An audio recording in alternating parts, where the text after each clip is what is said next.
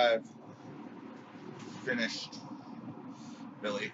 I sawed off the top and added some more electrical tape because my brother used his grinder to deal with the tent stake and it got really hot and it melted the tape so I had to add more tape.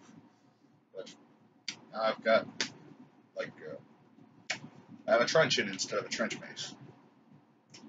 It's just a stick with cordage and tape now, basically. It will have solid impact, of course. Not like I'm ever going to use it on anyone. I might use it if I ever go fishing as like a fish whacker thing. But aside from that, I don't know. Yeah, it's finished.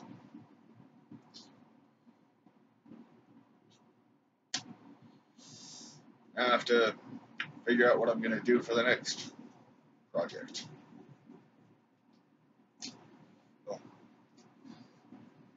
Thanks for watching and have a good day.